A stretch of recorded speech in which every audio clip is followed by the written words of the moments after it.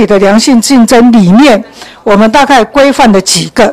第一个当然是总则，第二个是政党的设立，因为以往政党的设立有积极的资格跟消极的资格。那么目前我们国内已经有将近两百个政党是并没有在运作的一个状况下，所以我们希望在整个政党的设立上能够有积极跟消极的一个比较。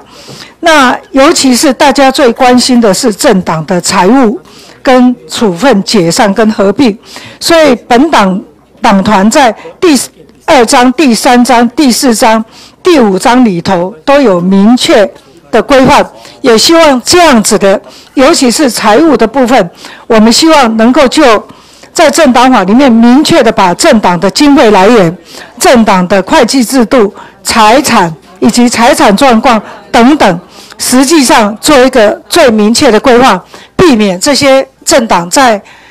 经营的过程当中，又引起一些不必要的一些余力，所以本党诶本席在这里做一个简单的报告，也希望我们未来在审查的过程当中，能够明确的把这个部分明确的告诉，让全国的国人能够放心。以上，谢谢。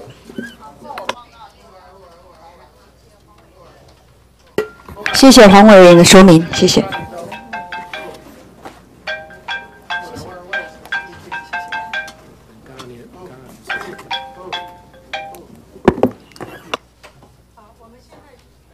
呃，我们现在请叶委员做提案报告。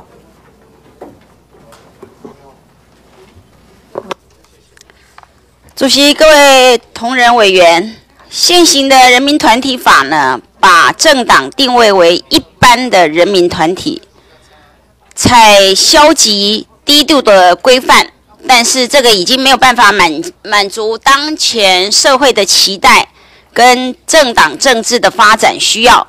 所以。